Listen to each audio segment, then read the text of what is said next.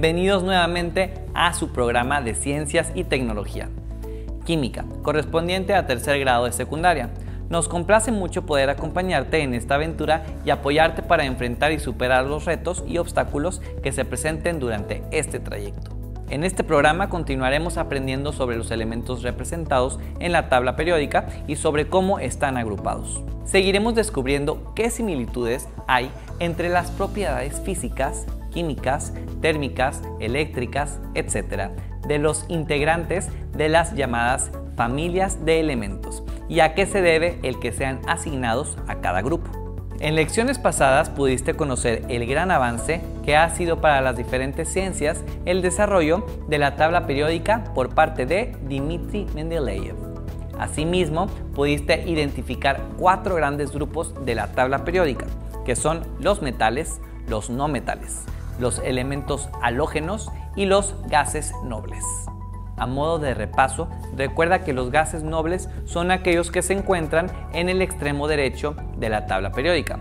Se trata de gases incoloros, inodoros, insípidos y no inflamables en condiciones normales, que además presentan una reactividad química muy baja debido a que su última capa de electrones está completa.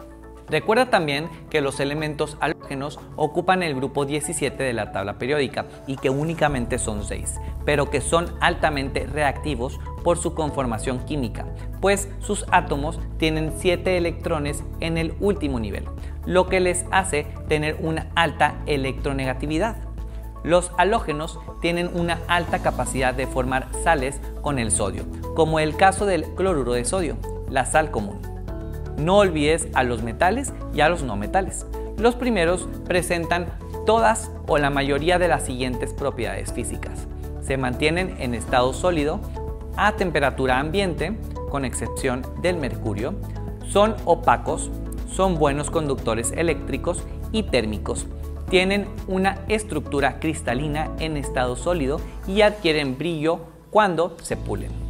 Por su parte, los no metales en general tienen características antagónicas a los metales, es decir, son malos conductores del calor y de la electricidad. Justo en estos dos grupos nos concentraremos el día de hoy. Ahondaremos en las familias que componen a los grupos de metales y no metales, así como de las características que los diferencian. La primera familia de los metales es la de los alcalinos, la cual se encuentra en la primera columna del lado izquierdo. Como vimos anteriormente, contiene elementos como el sodio, el potasio o el litio. Todos ellos son sólidos a temperatura ambiente, con puntos de fusión bajos, muy reactivos y con tendencia a ennegrecerse en contacto con el aire. La segunda familia es la de los alcalinoterrios. Se encuentran situados en el grupo 2 de la tabla periódica y son los siguientes berilio, magnesio, calcio, estroncio, bario y radio. Este último no siempre se considera ya que tiene un tiempo de vida corto. Los metales alcalinoterrios tienen dos electrones en su última capa. Por eso es más fácil que los cedan a que reciban seis electrones para completar el octeto. Es así que forman un ion dipositivo. La palabra alcalinoterrio proviene del nombre que recibían sus óxidos, tierras que tienen propiedades básicas o alcalinas. La siguiente familia corresponde a los metales de transición, que son un conjunto de elementos situados en la parte central del sistema periódico.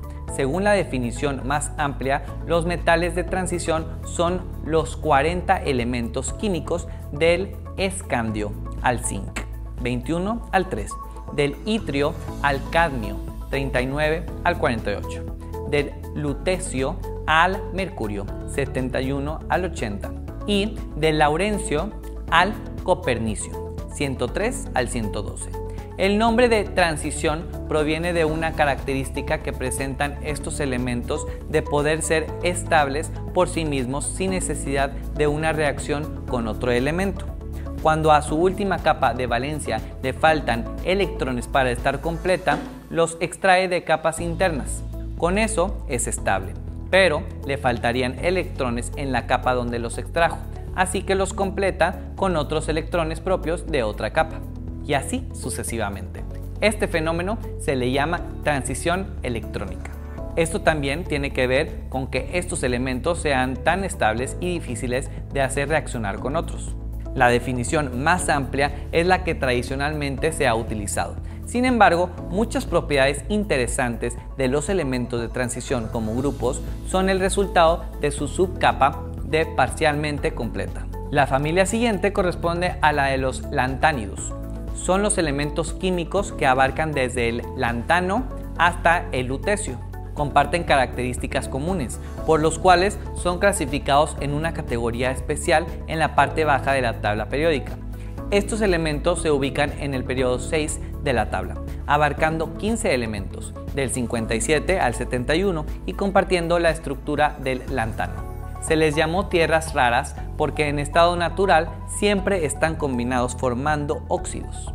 Al igual que los lantánidos, la familia de los actínidos son 15 elementos químicos clasificados en una categoría especial en la parte baja de la tabla periódica, en el periodo 7. Corresponden de los elementos 89 al 103, del actinio al novelio. También se les llama tierras raras porque en estado natural siempre están combinados formando óxidos. Pero, a diferencia de los lantánidos, los actínidos son radioactivos.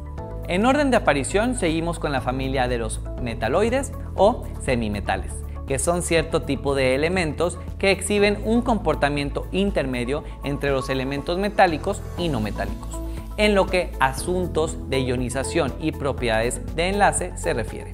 Sin embargo, no es sencillo distinguir a los metaloides de los metales verdaderos, y hacerlo requiere generalmente una revisión de sus propiedades de conducción eléctrica, pues además suelen ser muy variados entre sí en forma, aspecto y coloración. Estos elementos se encuentran distribuidos en una diagonal descendiente desde el boro hasta el astato, entre las columnas 13, 14, 15, 16 y 17, dividiendo de ese modo la tabla completa en dos. Los elementos ubicados en la mitad derecha son los no metálicos y los ubicados en la mitad izquierda son los metálicos. Por último tenemos a la familia de los no metales, que en general tienen características antagónicas a los metales, es decir, son malos conductores del calor y de la electricidad. Comparten características en sus propiedades de enlace y ionización, al tener una alta electronegatividad y es más sencillo que ganen electrones a que los pierdan.